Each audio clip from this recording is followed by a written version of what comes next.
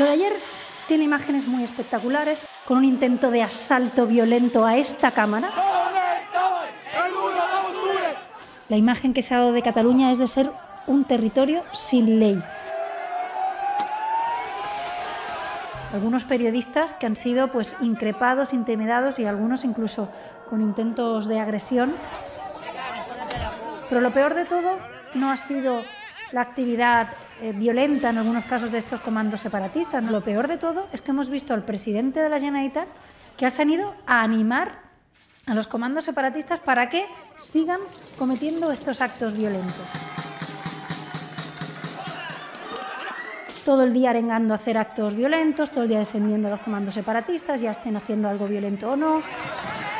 Que sigan, que aprieten, que vayan por este camino, que les felicita, que les da las gracias. ¡Viva España! Y es una auténtica vergüenza. Queman banderas de España en la puerta del Parlamento. ¿Saben por qué lo hacen? Porque esta bandera representa un país democrático de la Unión Europea. El separatismo no nos va a intimidar ni nos va a callar. Y no van a conseguir su, su aspiración de silenciar a la oposición en Cataluña, de silenciar y de perseguir a los constitucionalistas. Y por tanto no vamos a bajar la cabeza, no tenemos miedo ante la persecución separatista.